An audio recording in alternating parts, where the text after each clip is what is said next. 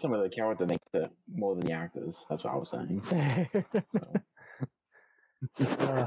I constantly find myself like I watch anything, I'll be like, my, it drives my wife crazy, but I'll be like, we'll watch some Oh, stupid should- horror movie, and I'll be like, that guy was in Burn Notice. I'm like, it was this episode, he was doing this. And- I'm the same way with some stuff. uh, you, you should see me every time I am binging a show with everybody. I'm like, one more, one more. We're in the thick of it. You're like, no, Cam, tap out. I'm like, well, haven't you seen it already? Yeah.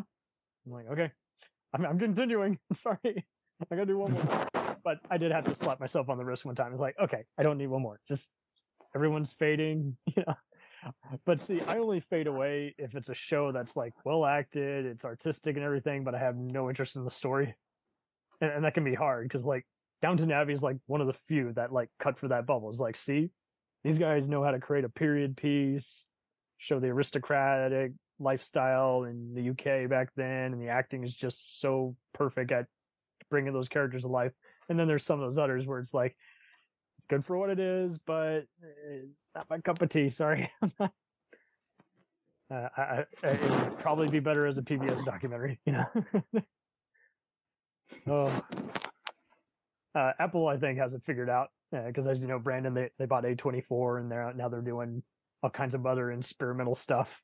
Um, and uh, I think I was talking with Robert Ward on the Legion podcast, Freds, and he was just like, "Why are so many people hate the last season of Ted Lasso?" I'm like, ah, I don't know. I guess they're just missing the point. It's got humor, but it's not every minute. You know, it is like Barry, where it's a dramedy. just interesting and uh, and you never know what movie is gonna just kind of irk you where you're like really this made everyone lose their shit over this ah. Okay there Yeah. boom in the shot Well, you just Alright. said that's what I said about Bobby, so there you go. Uh well at least you didn't see mission impossible. Uh, that, that was that was very trashy that was like that was a disaster movie uh, brandon and it just felt like they didn't know what they were making. Are we making die hard? Are we making tom clancy? Let, let's just rip off irwin allen. But stars tom cruise's ego instead of the rocks. Yeah it was uh, I it was the first time I'd seen it with one of my stand-up comedian pals, and he he was try like constantly nudging me, saying, "I'm trying to not riff. I'm trying to not riff." Okay, fuck it, I'm gonna riff. I'm like, go ahead. The the sound's pretty isolated here. Okay, well, welcome to the show, all. We're bringing back Brandon Moore. Howdy, hey there. podcast fanatic, and occasional guest on here, and Johnny Boy Mark. How's it going? uh, uh, we either bring you or the other uh, Johnny Bravo in here. The other Johnny.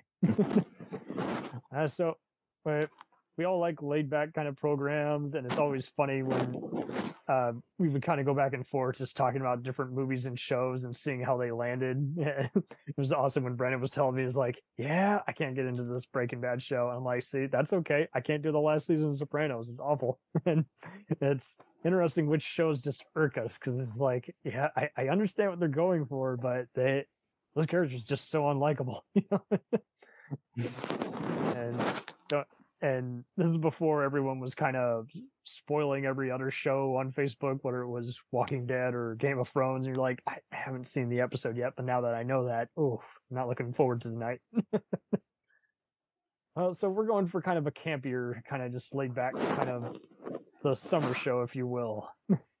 not Psych, not Monk, not Dead Zone. No, we're talking about USA Network's other show, Burn Notice. We've covered it before, but we just figured just well, one thing we like to do when we revisit these movies and shows, if we're not going to talk about, say, like our favorite gory scenes in like Evil Dead or exciting moments in the Die Hard franchise, let's talk about like the villains that enforce the narrative of these movies and shows. And yeah, lo and behold, if we're going to revisit Burn Notice, uh, we gotta just talk about the various again enemies, so to speak. He doesn't call them villains, just enemies, just the ones who pretty much made his off the grid lifestyle even harder to fathom. so, um, um, before we get into this, uh, Brandon, how did you get into the show? Was it when it was syndicated or when Um, DVDs came out? so it was actually Court who told me you need to watch the show, and it was probably halfway through season two that it was on. Um, um, he had already like got me onto Dexter at that point. Um, Oh wow, And so, similar show. um, and so I just started watching this, and I was like, "This is this is a great show" because it just combined like my two favorite shows, which was the A Team and MacGyver. It like put them both together, and I was like, and I just was hooked, and I have watched this show. Oh my god, so many times! I, yeah, I've rewatched it over and over. It's the one, Chuck one of the came one shows that I can. Yep. I Mhm. see him often compared to 24 or the Equalizer, but yeah, Dexter's an interesting mindset. Same kind of deal. Is like uh, Ray Donovan kind of takes from the same kind of formula, even though that's way grittier. But it's like, okay, who's the big bad this season, and basically who's gonna, uh, how's he gonna get out of this? and yeah, no, that's uh, I had no idea. Court from Cinema Psyops was a fan, but that's awesome because that it is kind of wild how he tries to avoid violent situations, but near the end, he's pretty much having to say, "Well, I guess I'm gonna live an illegal lifestyle continually and have to keep thwarting these various guys who are trying to kill me." uh, but uh, who'd have thought that Miami's the place to be? Nothing good's happening here. Uh, so uh some of these were a total refresher. I had to rewatch some clips. I'm like oh oh oh that's right. Oh. He did do that and oh my god that was a wacky storyline. Uh there's even just so many one-offs like big bads of the week where it's like they never show back but you're like i wonder what happened to them. Yeah. um, so uh, uh, I guess I'll just in no order, just kind of just circle around, just uh, the ones that are kind of just by season, kind of the main ones to go to. And now keep in mind, uh, uh, uh, that there, are plenty of peers who are technically on the opposing side, but they're not, so to speak, his antagonists. They're actually kind of like trying to help him out, like Lauren Stemmel on, uh, you know, Danny, you know, she's technically not the enemy. She's trying to make things, you know, easier for both parties, but she's just like, this is not going to end well. so, um, uh, I'm going to go with the the main one who kind of tops it all off, who kind of uh, pretty much is just ruthless, just not going to give him a second chance, going to do the whole kill on sight. Now, this was wild for me because I actually had seen season two all the way first and then had to go back to season one to put it all together. Uh, but yeah, let's go with Carla Baxter, Mm. the one, the only, uh, portrayed by number six herself from Battlestar, uh, Tricia Helfer. uh, what do you think of this particular uh, antagonist? uh, she's kind of using mind games and then often threatening to kill his mom if he doesn't comply with her demand.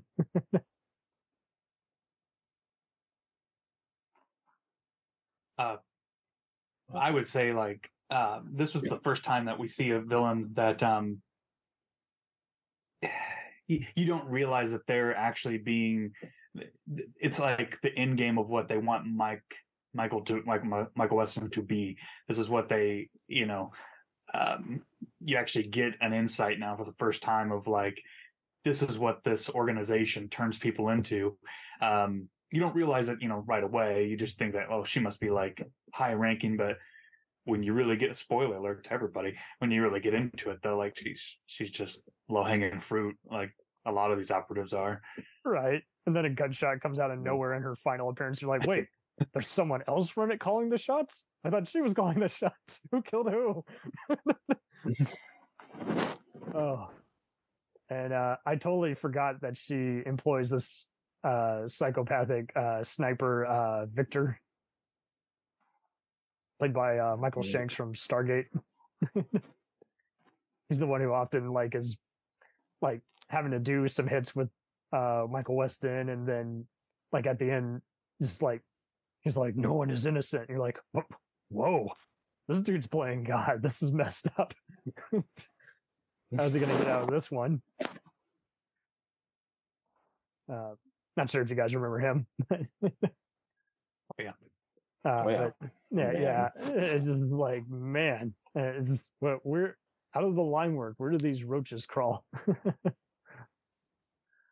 uh, it's just they, they keep coming out as uh, just the corner, and you're just like, uh, man, Michael, you got to get better at like doing a background check on these guys. uh, uh, I guess I'll do another one. Um, lo and behold, uh, Philip. Might know him as the smaller bearded guy who seems to imply that he doesn't really want to be here, but management has like enforced him to just kind of just come into the picture. He's played by Richard Schiff, you guys might know as scientist ripped in half in Jurassic Park 2 and Toby on the West Wing.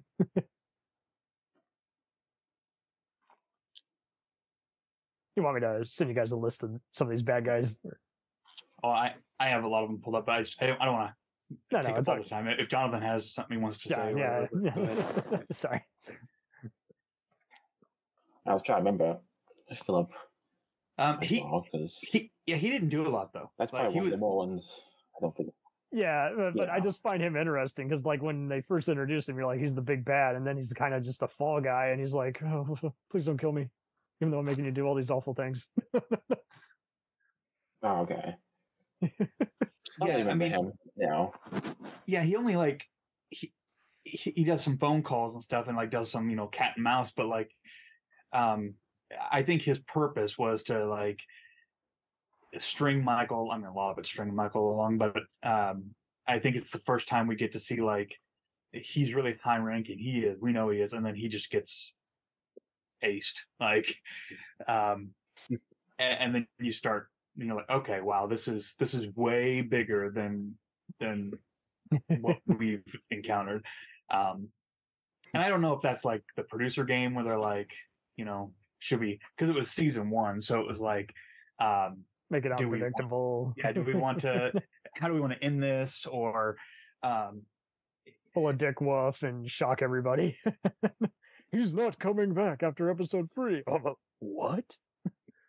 But it, it, you're right. It could have been just the Dexter game. Is like, hey, wouldn't it be wacky if he just like jumped off a building or was like, wait, what? I thought he's supposed to save people, not be at the scene of a crime every other day. oh, oh, so uh, it's all good. I'm just going through them because it's like they they all vary, but it is kind of wild how half the time like they stand out, I guess, because you recognize them as an actor from another hit cable show. Um, here's another one for you. We got uh, Miami PD's uh, Michelle Paxson, played by Moon Bloodgood. who You guys might know from T4 Salvation and Falling Skies. she was so hard to read, like when she comes in, because you don't know if she's going to be like one of the other CIA agents who just like wants to capture Michael to make her career, or if she's crooked and you, you don't know until the end. But it's like which one's that? uh, M- Michelle Paxson. Um, here, let me Yeah, she's one of the few that was unpredictable. 'cause Yeah. You couldn't quite tell if in, in the she would be chat on her side or not. Oh, got it, got it. Yeah, she, she was wild too because this is like, uh, yeah. At first, she seems Oh, her. to be kind of interested by him, and you're like, "Oh dear, is this turned into a cheesy James Bond?" and then about face, and you're like, "Oh, That's whoa, what I Michael, too. Michael, you shouldn't have been so blind. Don't you learn?" Yeah, she yeah she pl- she's one of these. I like to group her with the type of people who are like the um not the not the baddies of the week, but like the good guy baddies of uh, uh, of the season, like who uh who get to play on you know they're they're the law, but they get to use legal means to you know fuck with them. But she she doesn't realize that she's probably being used like by management. That's a good point. I didn't think of Um, that. She's just because- like, she's just a she's just a cop. So like right. she's gonna look in her little computer and say, okay, yep, this guy's a bad guy. Look, he just popped up on my list, so I'm gonna go after him or whatever. um, it, it really goes to show like how far reaching that organization was. That's a good point. It does kind of have a big brother's watching you, and like you say, is like half the time they're just the opposing force, but they're still. He's either going to have to use a career criminal who wants no trouble and is just selling like illegal car parts, but more often than not, he often makes the accident of like stumbling into guys who are like serial killers or selling just ginormous amounts of like nukes. You're like, damn. oh man. Um, Yeah, she And- came up on one of the uh, one of a really good episode with um uh, I don't know which who the actress was, but it was the guy who uh the episode where um that low ranking criminal wants to be he's trying to move up in his gang and that Oh, guy yeah. you know goes around bashing all the uh Oh, drug dealers Yeah. um and they have a really touching moment where he's like you know michael's like you know i can get you he kind of gets him out of the whole game because he's like you don't need to be in this you know and um yeah. And it helps that um, Fiona used to work with the IRA, but then like left him when she realized, hey, they're technically terrorists. I don't want any associations, but she has all that firepower. So she, I, I lose track of how many times she and Bruce Campbell's character Sam Axe just get him out of these pickles. Like, it's too good to be true, man. This guy is gonna. It's like a game of Grand Theft Auto. It's like your your record is going up. the heat is on, ba- baby. You gotta exit stage right. yeah it was the fearless leader episode it had um Fearless. uh nicholas turturro is his name um oh yeah, yeah, that that's the guy who Yeah. He- yeah. he's the that's the one. Yeah. he's the very low ranking guy who's trying to make it in and uh um and it's it's just cool to see like it's a part of michael you start seeing where he's like this guy he's a bad guy but then his boss is even worse of a bad guy but technically that cop is a bad guy but she's just doing her job so i don't want to like i'm gonna try and you know he does the little let's let's get these two to meet and then i'll get her off, my back sort of thing good right. episode very good episode Very sneaky. Wow. Uh, Good, good point. Good point. Man, these are hard to, to one up. uh, I guess we can talk about uh, another one. Uh, the one, the only uh, Tom Strickler, who you might know. I think uh, Ben, ben Shenkman, who's been. I didn't recognize him. I got him mixed up with like a bunch of other guys. He's done a lot of stuff like HBO's Angels in America and The Trial of the Chicago Seven. But yeah, uh, he's the guy who has also has dark shades and a pink uniform and uh, uh he he's pretty much just he's also in deep water. He he's the one working with uh a bunch of other guys. Uh, this O'Neill guy who also happens to be an IRA, IRA guy. and, and Michael starts turning against him when he finds out, oh, hold up, you're trying to kill my my pal Fiona. That ain't cool. you know? Yeah, he's he's a he's a big wheeler and dealer, um, definitely. Um, and I liked his character. Um, he was kind of a dick, but I I, I do wish he would have stuck around a lot longer than three episodes because. Um, He was comic relief. That's true. I didn't think about yeah, that. he he was he was definitely plot Yeah. He was basically but was. It's, and the guys he's working for, uh, uh, Paul Blackthorne, you might know him as um, terrorist Stephen Saunders from 24. And uh, the other uh, CIA guy at the airport is Otto Sanchez, who's been on a bunch of stuff like Oz. it's just so wild how these guys, it doesn't matter if they're just one episode, you still kind of remember their face. You're like, surely they were on one of these action mystery shows, you know? Hamming it up. Um, but yeah, he, he's just always calm by a pool, and it's just like, uh, do you have no shame? Of course you don't. yeah, I mean he's he's just like how they describe him as an well he describes himself as as an agent for spies like um he he is kind of a weasel um in a different way like he he totally just wants to use michael because he's like i can make some money off this guy you know You're right. um, i think he completely underestimates just how much michael cares which is what so, so a lot of these villains are, are are a lot like that. It worked the last 20 times. What's to keep me from turning this guy on his head? and of course, they messed with the wrong spy. Um, and then we got MI6 agent and Strickler cohort, Mason Gilroy. you might know this guy, uh, the betrayer Chris Vance from Prison Break. You might also know him from being on the Transporter TV show, where he was the main lead on that. It's just so wild how he just shows up. He's like, "I'm here to clean things up." he's got that giant plane, and he's trying to like free a prisoner from there, and he just keeps roping Michael into it. He's like, "Hey, I need you to be my wingman." And he's like, "Uh, I don't really want to do this, but you kind of, you know, got a gun to my head, so I can't say no." oh, and it's just so wild. He, reminds me of uh, who's that famous uh, thief who uh, disappeared in real life? Uh, DB Cooper. He kind of reminds me of. it, it, but if he was an MI6 agent.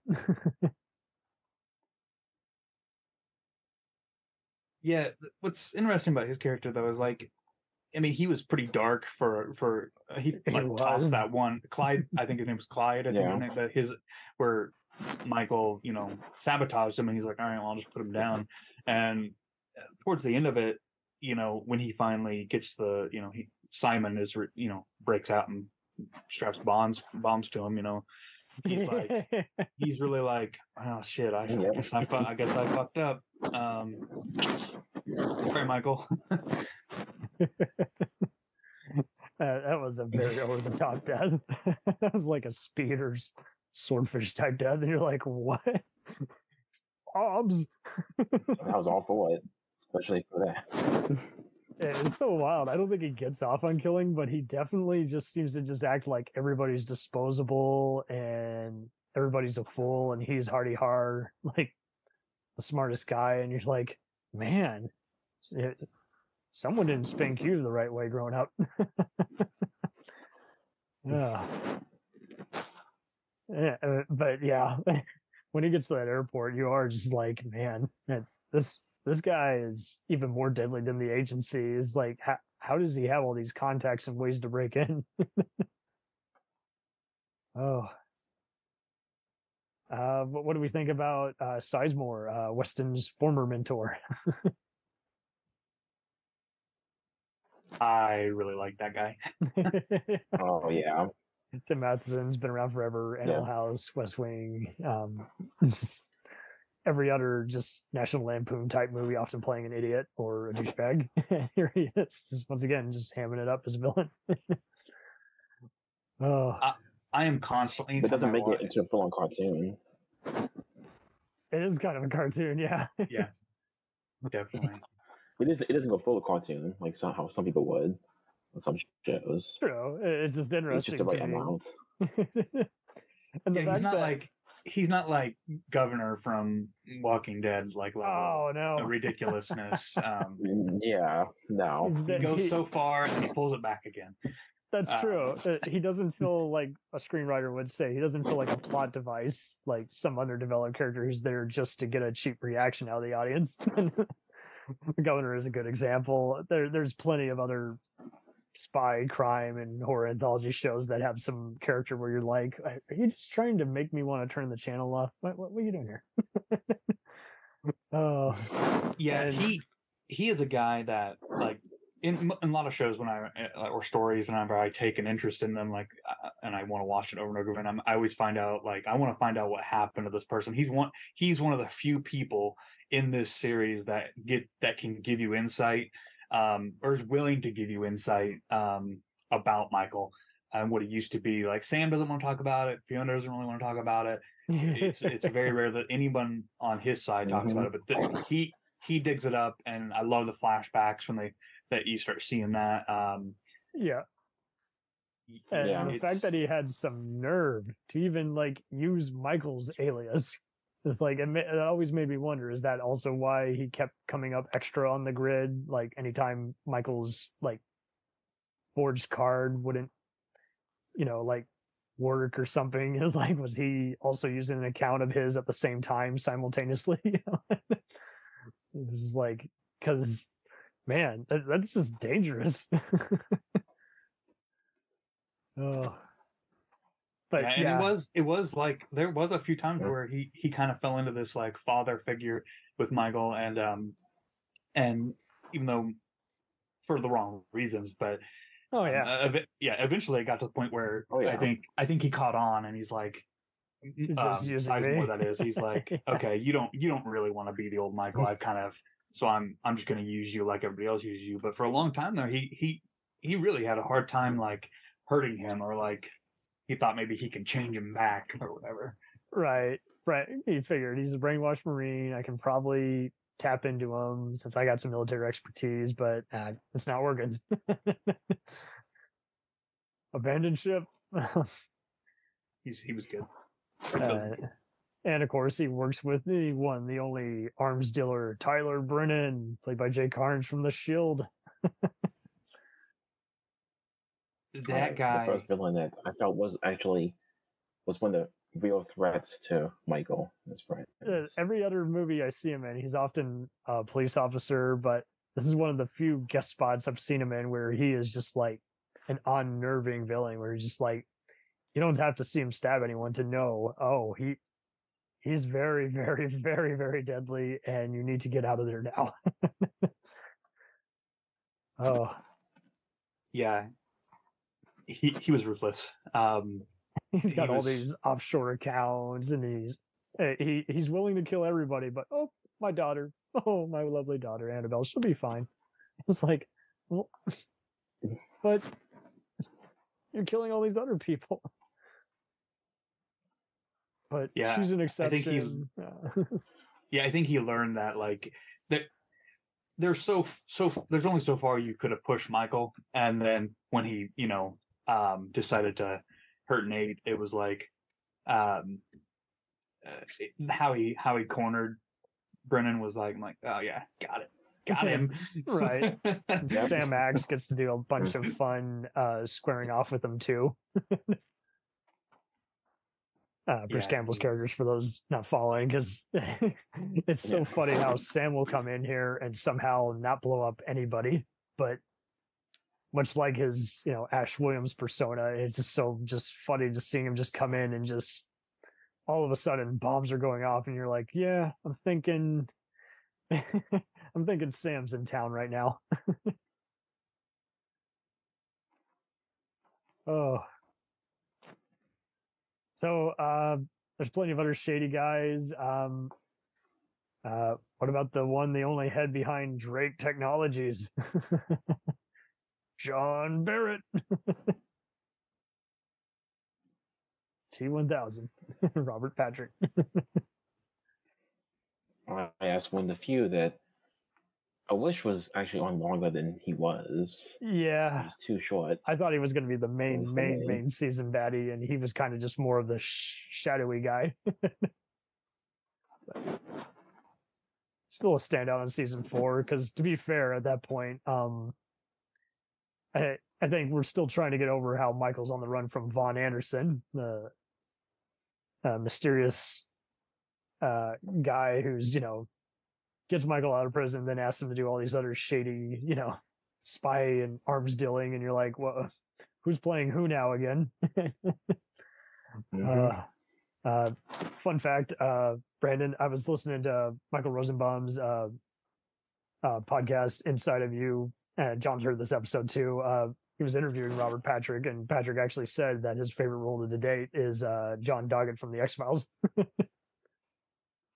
and his uh, favorite filmmaker to have worked with was uh, James Mangold. But yeah, uh, it's always a So, fun. po- I think um I. I think sorry. So I think his his character gets overshadowed by this this point in the series because if you remember this is this is right when Jesse finds out that he got burned by Michael. And now you have Yeah. now you have Jesse. He's the enemy now, and he's like he's almost like Michael 2.0 in a lot of ways with his talents, and so and he's even a little bit more reckless. Um, especially when he's like, okay, now I'm just I'm gonna kill this guy.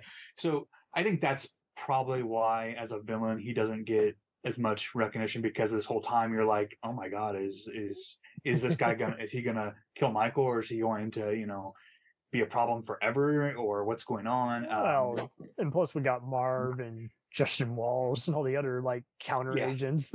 so Yeah. at this point, it's like imagine playing a chess game, but then there's like two other sides on the same board. Eventually, you're going to collide, and you're going to want to pretty much win the game by either forfeiting or uh, just getting out quicker. uh, but yeah, they, they are. It, it, it's it's pretty good at avoiding feeling convoluted, but at the same time, you're like, man, I I don't know how anyone's going to survive. And then Mike's having to keep his younger brother Nate, uh, you know, safe also. yeah, Yeah. it, it it definitely felt like he was just that Drake was Drake's Drake Technologies like it, that. It felt like it was just kind of a bridge just to like get somewhere. Um, I don't know. It it felt like it could have been. Um, they did that a lot though in in the series. They they'll have these mini arcs and then like I just to get to the next point, the next dramatic thing, and then we'll use them, throw them away. And I guess that's what you can do when you have like the shadow organization. There's going to be another one and another one. Um, right. At least Nate's son is being raised by Uncle Mike somewhere. but yeah, there's many times where it's like people show up and you're like, uh, and there must have been a schedule conflict. I don't, or maybe the writers didn't know what to do with it, so they just ended it. But good point. I totally forgot about how Jesse gets turned and uh, they go back and forth. Just now we're working together. Now I'm gonna hate you again. Now I'm gonna work with you again. Now I'm now I'm definitely want you dead. uh, so much running.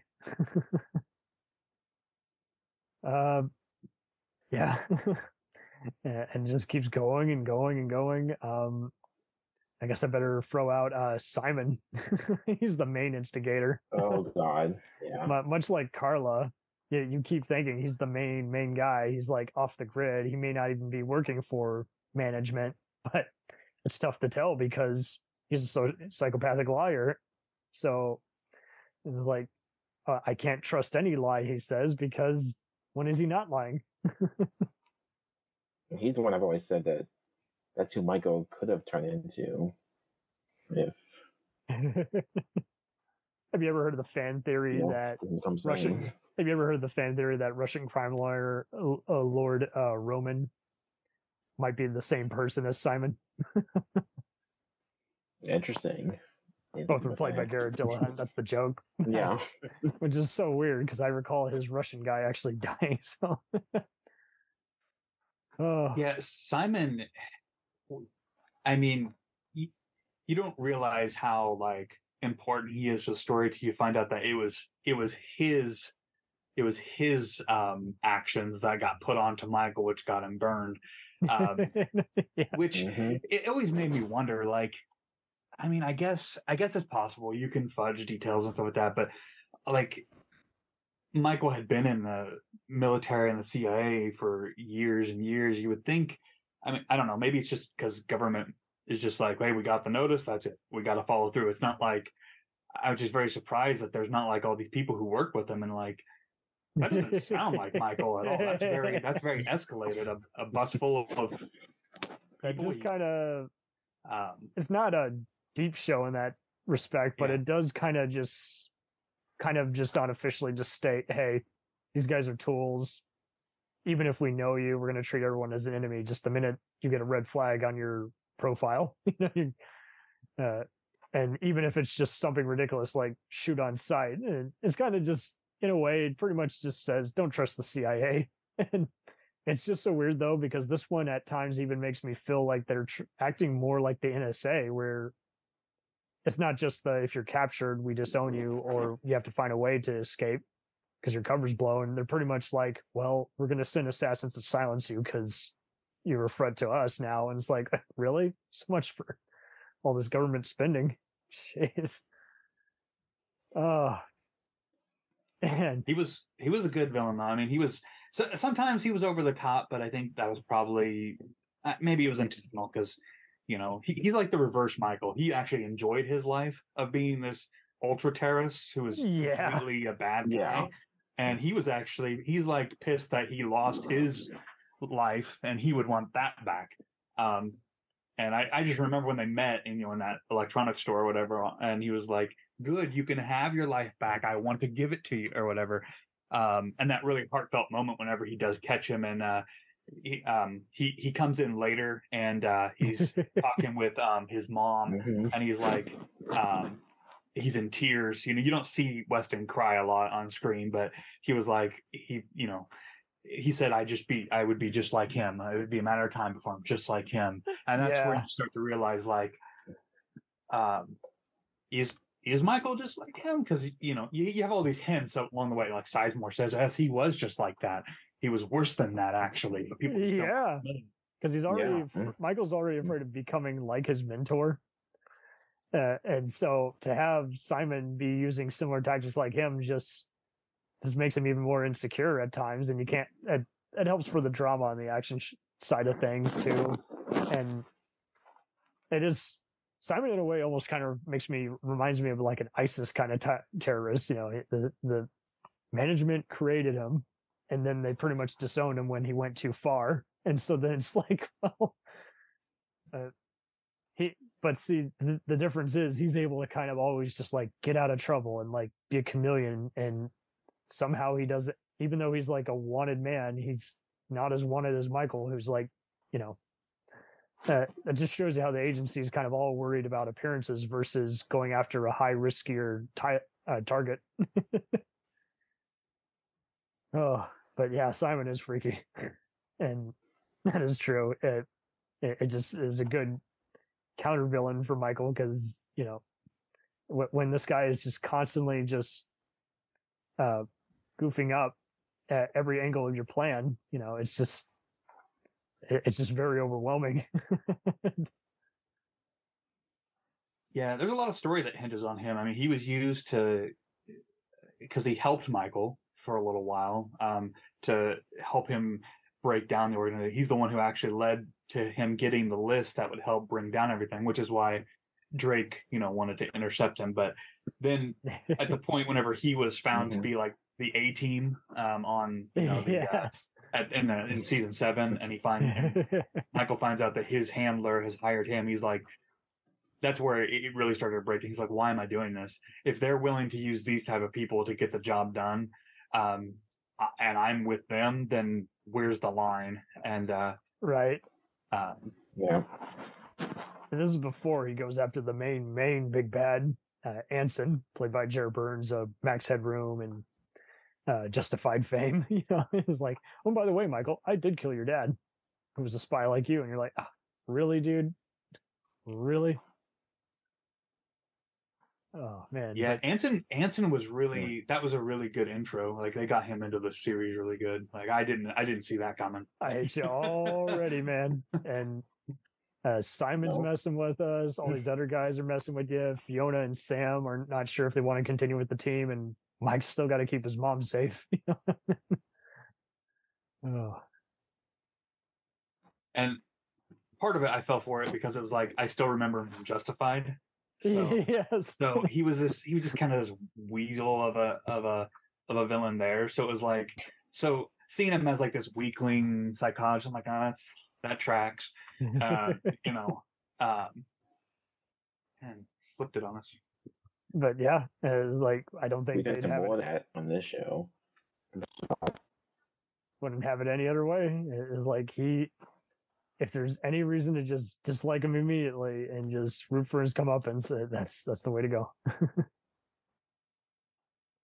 yeah when he Oh. when he, he it, it does transition though to one of like you know it, it's a villain throughout the series but you never get to learn much and that isn't michael's dad like he he gives you the insight of like what his dad is actually like and um i mean you kind of get the idea you know because he's you know he's an abusive alcoholic and all this stuff and um, Yeah.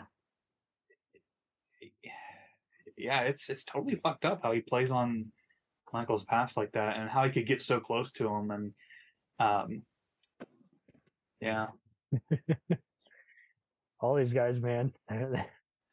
Yeah And- it didn't feel like like when they had that one guy where in like beginning of season five where they're like we got them all tracked down and that one guy he's the last guy ever and he shot himself or whatever and then he's like why did he do that i don't know and then it didn't feel like that type of a guy where it's like no, you know, we're well, we almost got them all, but here's this guy. This guy actually kind of made sense. He he, you know, he had a really good backstory, and it, he was just really really interesting. Yeah, it, it, it, and that, is true. He didn't feel like just a one-off. Like, hey, at the end of this conversation, he's going to be dead. You know, it's like, no, he's going to be brooding in the background, and the hero's going to have to take uh, five to seven more episodes figuring out uh, just what went wrong and how he can get out of this pickle, especially without letting the emotion get to him.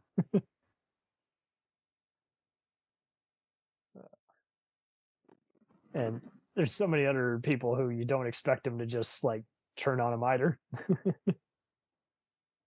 uh, I meant to also bring up, I guess, uh, some of the other uh, terrorist organization that he takes down in uh, season seven. uh, you might remember. Uh, I think it was. No, that's not it. Um, yeah. Okay. So it was Sonya, and then there was uh, uh, J- James Kendrick. and They're this Latin America terrorist group, and pretty much that they're they're the ones in the final season who Michael has to take down in order to get immunity by management. it's just so Yeah. wild how they too have been pretty much playing all the other thieves and CIA guys for a fool too. So it's like, man, however this ends, someone's gonna get hurt. Yeah, it, it's a perfect organization. eh, How they all because you they they are terrorists and they go above the law to get things done, but they also do it in a way that um, because the whole thing was born out of James Kendrick having um, to do these missions that were like really underhanded and like this is not what we're supposed to be doing. We're supposed to be killing innocent people or whatever. And he creates he's he's like the unofficial organization yes. of what of like what burned Michael in the first place. But these guys are trying to do that same thing, um, and it, it is really wild where they blur the lines between like you know you, for a while though you think you know is is Michael really going to go into this? Is he gonna? Uh, is this where he's gonna? Um, uh, you know, fall in line with this, and it this this was not. I mean, internet's been around obviously, but it wasn't during the, the when this was going on, like on the air. There wasn't a lot of you, you didn't get like a lot of spoilers of like so and so says he doesn't agree for the next season, so we know this is the last one because the we know this actor and this actor won't. During that time, you're like this. They might still keep going. I don't know. You know, like, will, will they renew it? I don't know, but you don't know until you get there. um he, yeah james kendrick was so, sonia was kind of like i mean she was like an um like a negative version of uh uh fiona in a way. Um eh, you know i think she was used as a as a tool in that in the storyline for that. Um yeah, a little bit. james kendrick though like I, that that that that villain was I really loved how he was he was compassion he was this weird like compassionate dude but Yeah. also like I got a job to do but Yeah. I'm here for you man Yeah, Pi- Pyper-Ferguson has made a living just playing tough to read guys, and Yeah. you don't know if they're loyal or villainous until pretty much the final frame. He's been on everything from Brisco County and Battlestar to there's a Bruce Campbell connection, uh, as well as Flash uh, train on the track Train on the Track.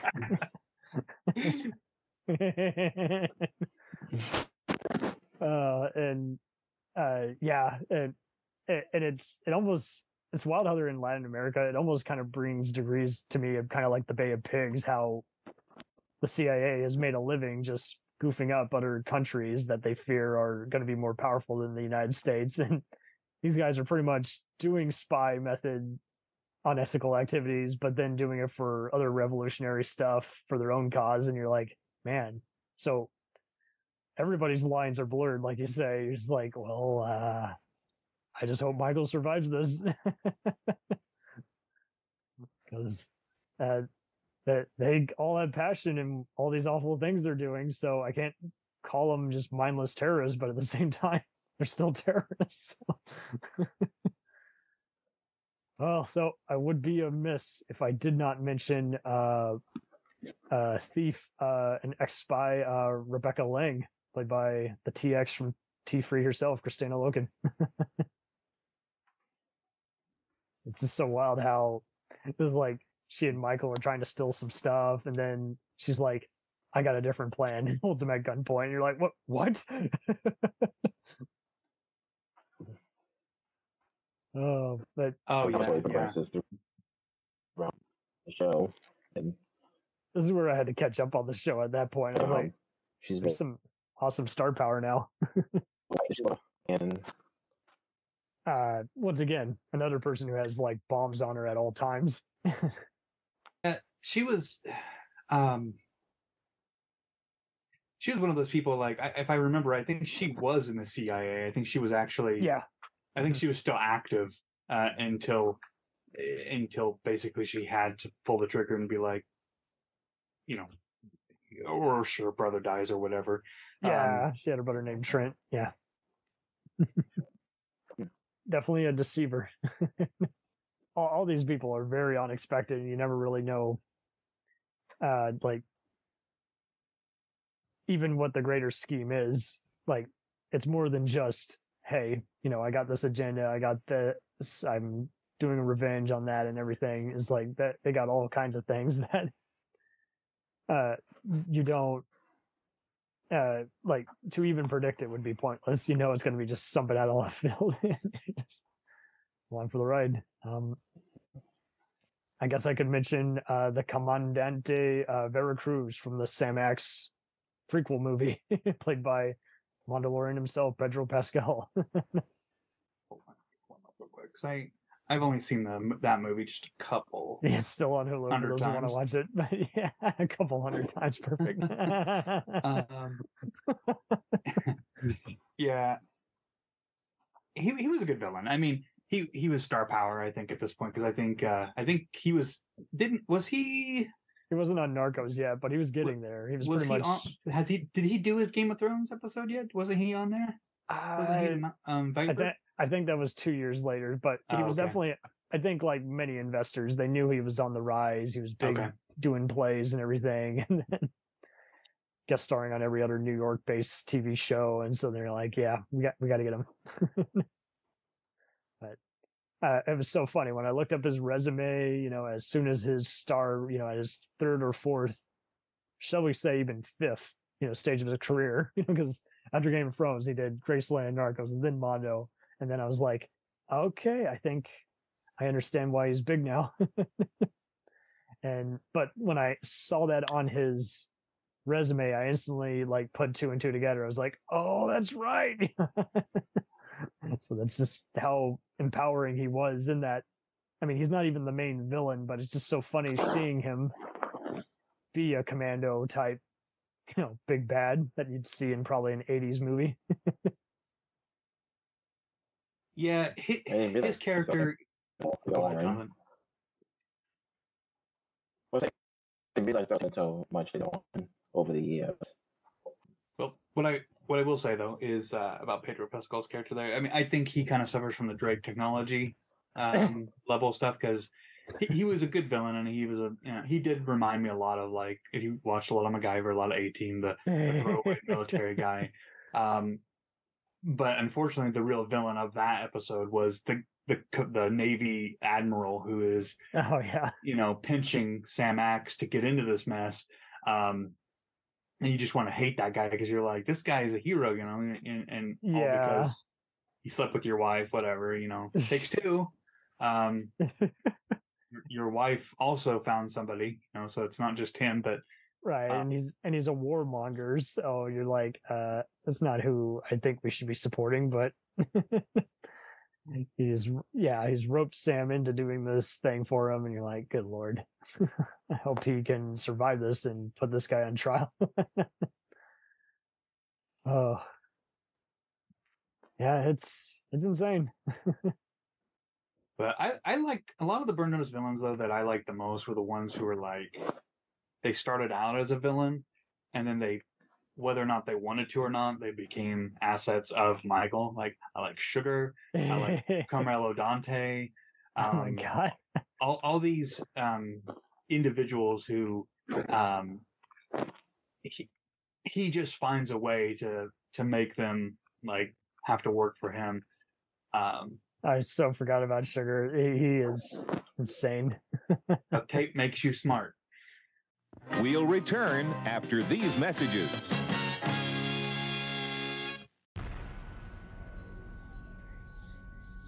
The Jacked Up Review Show podcast is honored to be part of the Blind Knowledge Podcast Network.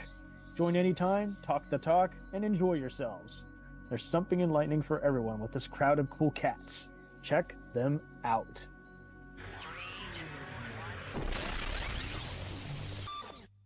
Hey, it's Brent Pope, the host of Breakfast with Brent Pope. You've seen me on some of your favorite TV shows saying things like, Give it up, Jimmy. You got to sink this putt to win. On Breakfast with Brent Pope, I sit down with guests from the entertainment world and we do it all over breakfast. Or should I say, Brentfast? Every week on Brentfast, you get inside Hollywood info and tips, great breakfast wrecks and booty debates. Most of all, you get the most delightful 30 minutes of your week. So dig in, it's Brentfast time. Listen at Brentfast.com, Apple Podcasts, or wherever fine podcasts are found. Do you ever find yourself thinking about who would win in a fight between Goku and Superman? Hi, I'm James Gavsey, and on the Who Would Win show, me and my co host Ray ignore anything important happening in the outside world and debate fictional battles between characters from comics, movies, and video games. We got a new show every week, and almost always am I the winner. Yeah, not true, Ray. In the past, we've discussed such matches as Captain America versus Darth Vader, Solid Snake versus the Iron Giant, classic matchups like Robocop versus Terminator, and even the Muppets versus Sesame Street. That one was crazy. So if you're a fan of geek culture and love a spirited debate, check out the Who Would Win show wherever you get your podcasts, or check us out at whowouldwinshow.com. So I was just thinking we could talk about John C. McGinley's character, uh, Tom Card, his sniper pal, and uh, Sonja Sohn from The Wire's CIA gal. Thank God for Wiccas, because like you say, you tend to forget who half the villains are on every other SVU Dexter type show. just what did they do again? Oh, that's right, they did that unforgivable thing. Yeah, yeah like those people who can make these wiki fandom things they're the best like I, I love it too when it's like it's even more comedic. Like I saw someone who had labeled Mike Nelson from Mystery Science Theater and a Farscape character as a war criminal. I'm like, well, to be fair, they did accidentally blow up a planet. I guess that counts. well i guess in order of i guess how it goes down i mean i think tyler gray's the f- i think that's the first person they meet um or it might be i can't remember any order it's either olivia or it's T- tyler gray one of the two but they they kind of go back and forth, but they're all ironic. Coincidentally, they're they're really connected too.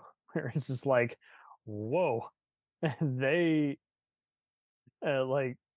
So basically, you know, at first, uh, Tyler's we think is going to be the main main guy going after him, but he answers to again Tom, John C. McGinley's character, who's you know Westen's former mentor, and then Westen, you know, does the unthinkable and actually has to cross the line and uh uh but yeah, he just decides, you know what, I'm on my vengeance. I'm gonna go out and just kill Tom. I have nothing to lose now. And then Olivia, of course, we think, oh, she's a goody goody two shoes, and it's like wrong again. She's another crooked CIA goon. now tyler tyler gray though i mean his story starts like with one of the most heart-wrenching like parts in the entire show where because nate westen dies and he's the one who shot him but you Yeah. don't know that when it happens you just you know they go through all this you know kind of They do the typical camera trickery where you see a sniper crosshair and you're like, wait, yeah who is that? and then he's just gone there's just a giant hole in him in the side and then it's like oh wow that is really you know i wasn't expecting it at all like um, Yeah. when that came out like i think because of the internet, I think there was some rumors that someone's going to die on the show, but I didn't look at that stuff, so I had no idea that was coming when I was watching it. I was like, oh my Oh, god, absolutely. Mu- Much like Chuck and even MacGyver is like the show is so campy that you that when it does actually get emotional, you never expect it. yeah, it, it hit you hard, and and at that point, I was like, oh my god, dang, that was so. I, I get, and it led to a lot of good scenes, like that scene where he's with um Michael's mom with with Madeline, and she's Yeah, like, yeah. she wants to confront him, and and you could tell. Like, I mean, this is after obviously they've learned that he's been under the thumb of Tom Card, and you know he's being used like Michael's being used, and then you you actually see that this guy is not he's not really a bad guy. He's just doing his work, and he thought that he was doing good work because Tom Card said it was good work. Right. He was And- brainwashed into thinking, oh, Michael's a terrorist, kill his family. Oh, Yeah, he's not a terrorist. He's just a guy we don't like. and Madeline, you know, you, you know, next time you know their name before you pull that trigger and slaps him across the face. It was awesome. Yeah, uh, that, that that that felt rewarding.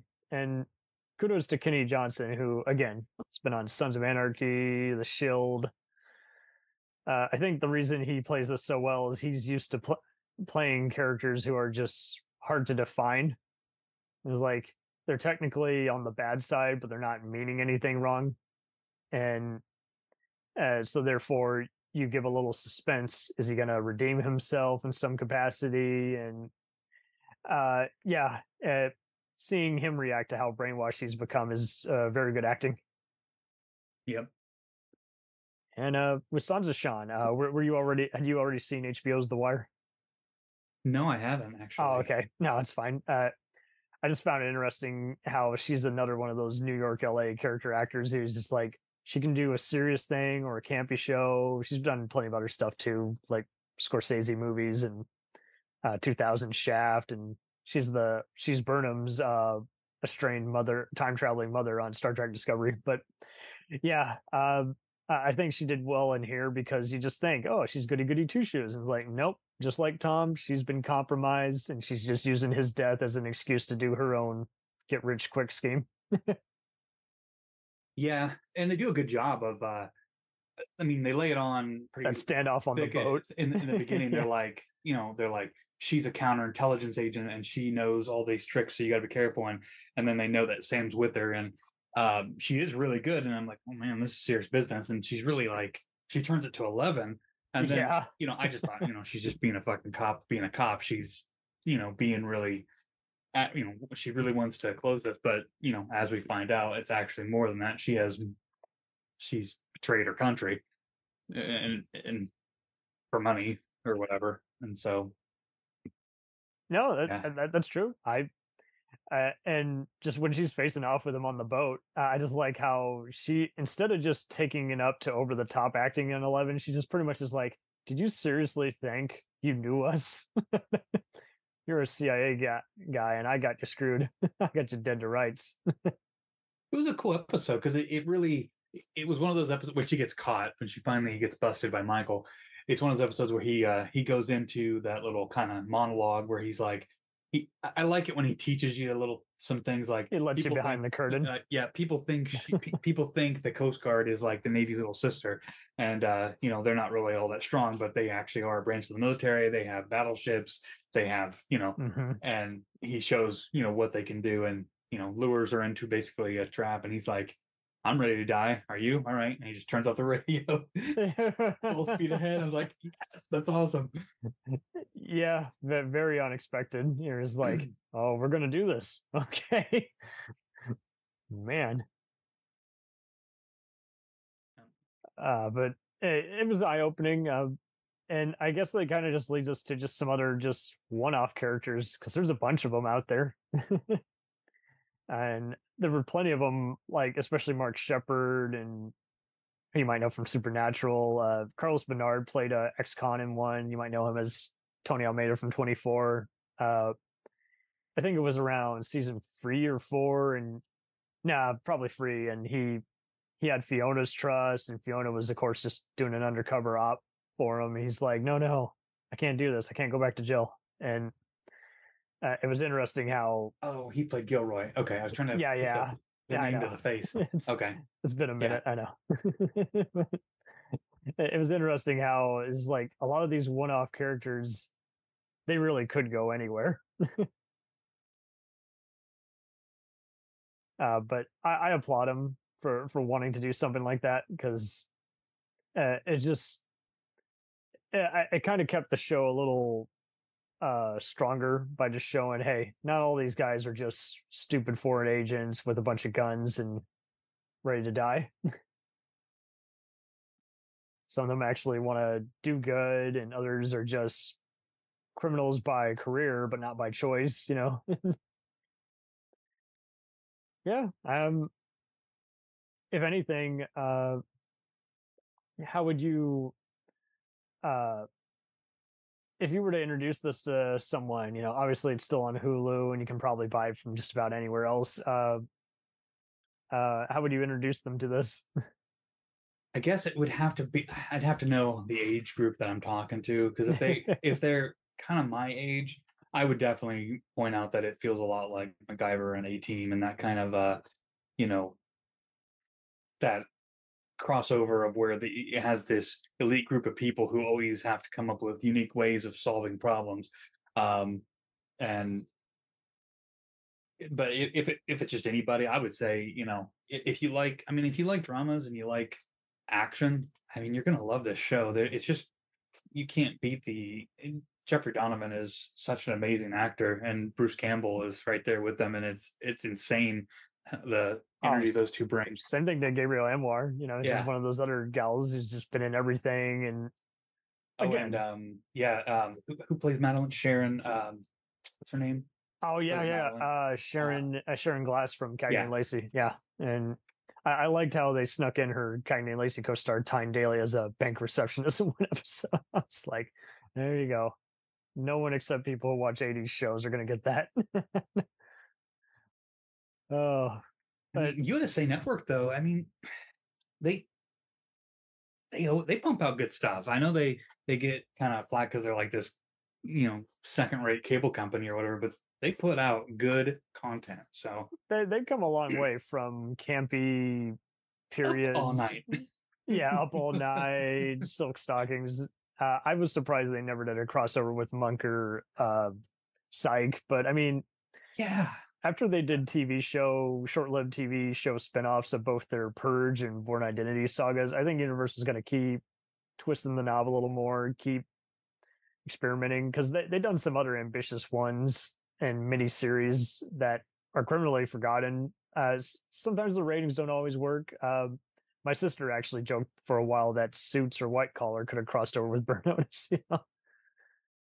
yeah, It, it was they. It was kind of that whole thing. Pick a equalizer kind of formula. Someone's on the run, and just action. like go go haywire, go ape shit. yeah. I think what also made his sh- that show like blow up is like before that came out. I mean, you basically had a sea of um law and orders Right. uh, procedurals of just cops this, cops that, and you know the. I'm not bagging on the Shield or like NYPD Blue or any NCIS. You know, For all a those type of while, we had to do what TNT and yeah. It, that's kind of just all you had, and it's like, can we Yeah. get something that isn't just cops? Like, I know he's kind of like he's he's not a cop. A spy's not a cop, but he worked for the government. But he, you know, in his story, he had Right. to basically be the good guy, but was treated like the bad guy. And absolutely, it was at the perfect time. The closer was actually daring to do something different than most cop shows, but I, I applaud Notice for trying to do not only something different with a spy formula, but show how the world is kind of gray in its whole uh, timeline while also reminding you to have fun. Because for a while it seemed like, hey, let's have another shocking show like The Sopranos. And it's like, yeah, but we're just distracted by how cool the gore is, and the plot's really.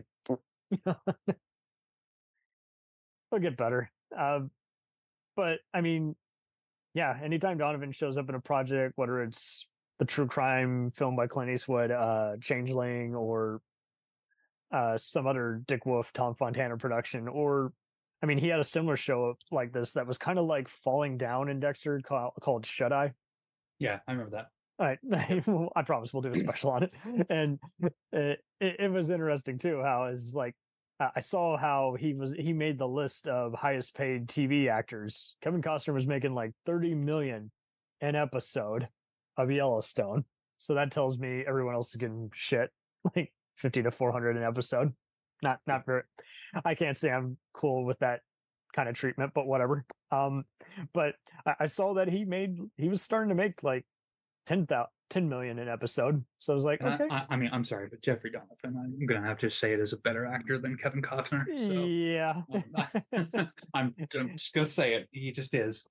well, and that's the problem too. Is like I think. Yellowstone was already going to make money because Yeah. it was just a twisted mixture of western and gangster shows. But Yep. it it was wild how they betted on an actor who's pretty much been in the same zone all his career: romantic lead, baseball lead, cowboy. Okay, and he's none of these things. What? in this? Well, uh, it, uh, uh, I, I don't know. I, it would be interesting if they did a documentary on talent managers. How did you slap some sense into your celebrity on, hey, you should take more acting lessons now that your looks have dried up? Hey, how about you do this kind of show? Because no one takes you seriously as that anymore. And I wish that more would. I wish more of them of those actors, um, instead of trying to act like they're washed up, pull the Martin the Martin short route, and then you know you go, go. find your friend Steve Martin go make a new TV show. That's there you go. You know, like, you know that has no. It doesn't matter about their age. They can put it into their into the storyline, and it's funny. So Uh, right and how ironic that to tie in with that show they have a podcast recapping every episode of only murders in the building i'm like oh now that's even more meta because it's about true crime podcasters that is the one thing that I, if I had, I wish Burn Notice actually probably would have released like ten years later. Right? It, would- it would have landed right in the podcast era, and and I would have loved to ha- hear all those guys. I mean, you can. I have listened to some of the commentary, and it's it's fun, but commentary is not the same as a podcast when you get them all in the same room talking and bullshit. you might be able to convince them to do it soon i know uh Brie Castellini, who is a I had on for Outlander, she had her burn notice uh, podcast recap, but she was getting annoyed because some people on Twitter were just bad mouthing her, and it's like, well, we're analyzing every part of this. We like the show, but we're going to point out a plot hole. it it is interesting how everyone differentiates and reacts to everything differently. Uh, some recap podcasts have been really helpful at helping me like prepare for an inevitable rewatch, and other ones have been like like there was one that was there was like three different ones recapping Criminal Minds, but like they were nitpicking so much where I'm like, good lord, do you even like this show? Yeah, and I mean like um not not like necessarily like uh like you core like that that level of podcast. I mean like the actors themselves are part of like like Right. Always Sunny has a podcast like and it's The Scrubs one, yeah. that those are the ones I, I would really be interested in listening to. Not that I I could definitely listen to a Burn Notice podcast, but Sure. um, yeah, and yeah, but as far as the villains though, like that, I I really uh, uh, going back to Tyler Gray, I I liked how they tracked him down. I like how they they went through the whole process of trying to like get into that security firm to see who he was and and manipulate that low level you know agent type of agent of agents guy or whatever who's i don't know his name who's working in that oh yeah, yeah, yeah.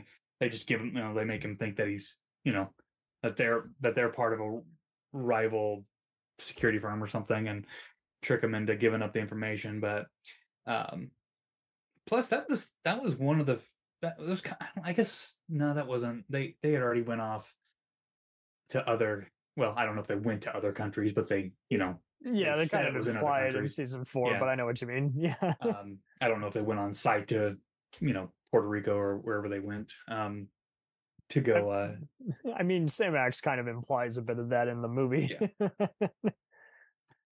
yeah, it, it's eye opening too because you're just like, yeah, where did a, around the way did these guys get disillusioned with their career field? You know, yeah uh, but it's eye opening. Yeah, and I think that's I think that's what starts. Yeah, I think that's uh, when when when it's Tyler. You don't know it's him yet, but when he kills Nate, and then they're tracking down the dragon. I think it's I think it's the Dragunov sniper rifle. I think is I think that's that whole storyline, and they I think they go Yeah. to Seymour, and they're and he's a riot. Seymour's Se- Seymour's kind of like a. He's not an enemy, but there are times in the series where he's like, "No, you're He's about to go off the edge. yeah, he's not very stable. He, yeah, he, he he might as well be an enemy for some of the things he gets Michael and Fiona into, but he, he's fucking hilarious. Uh, I remember watching that guy on Grimm. Um, All right. oh, how uh, I, I know they're doing that with Grimm as well, where they're recapping every episode with the cats, but I still got to catch up on that. Uh, but it, it's it is eye opening to me now that they have uh, so many shows that are pretty much they're at the fifth or sixth stage of being embraced by an audience now. Been off the air, they haven't really been syndicated, but they're there. Oh man. And I you know, everything else from RoboCop and Star Trek to uh Planet of the Apes and Evil Dead is getting a comic book. Uh would you like to see a Burn Notice comic book continuation since Donovan updated about a year ago that Fox was interested in moving forward with a movie idea. So I think it'd be awesome. I mean, I I think it'd make a great I think it'd make a great uh, uh comic. Um I would love to see I mean, I I know some of those shows like turn into like like Warehouse 13 for example, like they oh there you go. like that like that that had its series and then it had an animated thing. Um that would work. for a little while. So like I, I would totally watch that too. Um like an adult kind of more um not campy like Archer, but you know, like Yeah, that- like close actually you know similar thing but you know i know it all costs money and you never know they they're taking the risk Oh my god. um, That's exactly how the executives are talking. Yes. yeah Okay. We don't think it'll make money, even Uh. though it lasted a while.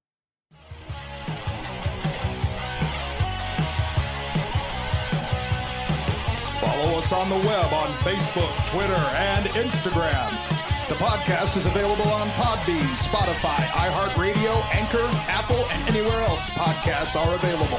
Feel free to review our show and leave comments on any of those sites. Thanks a million for listening.